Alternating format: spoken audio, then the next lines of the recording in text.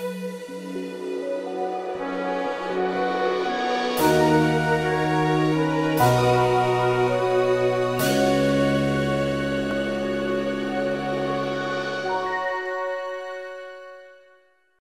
give a warm welcome for our new Toastmaster, Michael Jiam.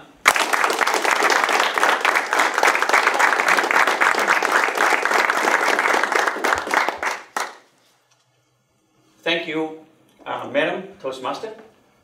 Um, good morning, my fellow members. And if any guests here today, welcome. I still remember the days when my birthday present was two eggs. And I live in an apartment uh, of 300 square feet with a bathroom with my parents and six other siblings. That was pretty much, you know, my childhood in Hong Kong during the 60s and 70s. Life was scarce. And that is pretty much the norm of the day. Things got better. Uh, later on, we moved into a bigger apartment, have our own bathroom, and also got the first color TV, and even the phone line.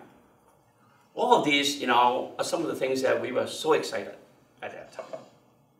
And eventually, actually, I um, got my bachelor degree from the University of Hong Kong. So right around the time I was about to start my career, things happened. There were talks about returning Hong Kong back to communism China. A lot of people were concerned. My parents were no exception. So, with support from our my eldest brother, uh, who was a U.S. citizen of the United States at that time, we made a decision to immigrate to the United States. So I remember that that was my first time get on an airplane. Um, I was in the 20 something. Flying over the Pacific Ocean, landing on a city called Detroit, and it was very intimidating. It was a new world. I really didn't know anything about that country. I mean, now it's my country.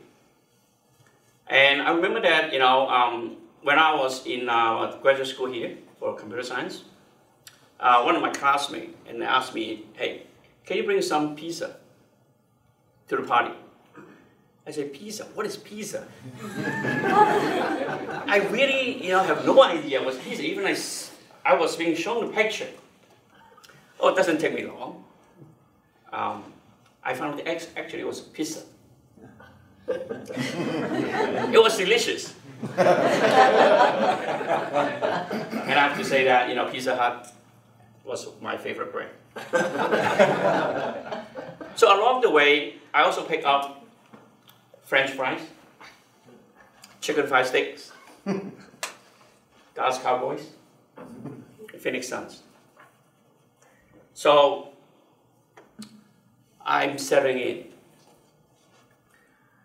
So I got my first job as a software developer uh, in Dallas, Texas. And then right off the bat, I guess like most of the people, I bought a new car. In hindsight, that might not be the wise idea. So I married my wife, whom I met in Hong Kong. Um, actually, even bought my first house in Irving, Texas. An American dream. Missions accomplished. So that was my um, eldest brother told me when he tried to convince us to come over to the US. American dream. So things go, actually were, um, was going quite well. A couple years later, one day, a recruiter called me if I were interested in a project called Iridium. I was really excited about that without much hesitation. I moved my family from Texas, you know, to here, Phoenix, Arizona, and actually settled down, you know, in Ahwatukee. And brought up my three children, wonderful children, two of them long gone, after graduating from high school. I still have a young son. Uh, is sophomore in Desert Vista. Now, looking back, things have been progressing along really well. I'm grateful every day when I woke up, knowing who I am. and um, I can get on the treadmill. Yeah, when I feel like that, I will, you know, uh, do some exercise. So sometimes I'm wondering, you know, what could I do in returns? Now here comes Einstein. You know, as much as what he has discovered, he once said, it is not that I'm so smart. It is just that I stay on with problems longer. Now that's telling me that everyone can be very remarkable. and so with that said, I would really like to do something um, to give back to the country, starting right here. Thank you.